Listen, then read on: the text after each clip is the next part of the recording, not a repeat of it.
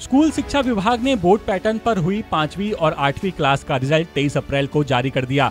दोनों परीक्षाओं में करीब 24 लाख स्टूडेंट शामिल हुए थे। बात अगर पांचवी की करें तो इसका रिज़ल्ट रहा नब्बे दशमलव नौ सात फ़ीसदी। इसमें सरकारी स्कूल का रिज़ल्ट इक्यानवे दशमलव पाँच तीन और निजी स्कूल का रिज़ल्ट नब्बे दशमलव एक आठ फ़ीसदी रहा। बात अगर मदरसों की की जाए तो मदरसों का रिज़ल्ट तिहत्तर दशमलव दो छह फ़ीसदी रहा।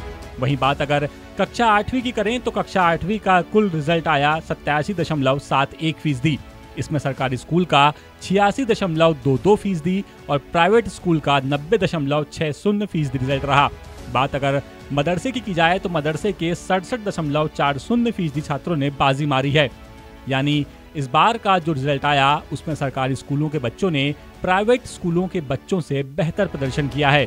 जरा नज़र इन आंकड़ों पर भी डालिए, जिसमें हम आपको पांचवी के टॉप टेन जिलों के बारे में बता रहे हैं। नरसिंहपुर, डिंडौरी, मंडला, अनूपपुर, अलीराजपुर, छिंदवाड़ा, सीहोर, झाबुआ, शहडोल और बुरहानपुर ज़िले ने इसमें बाजी मारी है।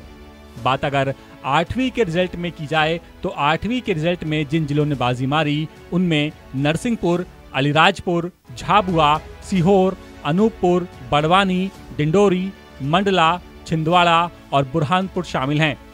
और हाँ अगर आपने अभी तक अपने बच्चे का रिज़ल्ट चेक नहीं किया तो आप www.rskmp.in पर जाकर अपने बच्चे का रिज़ल्ट चेक कर सकते हैं।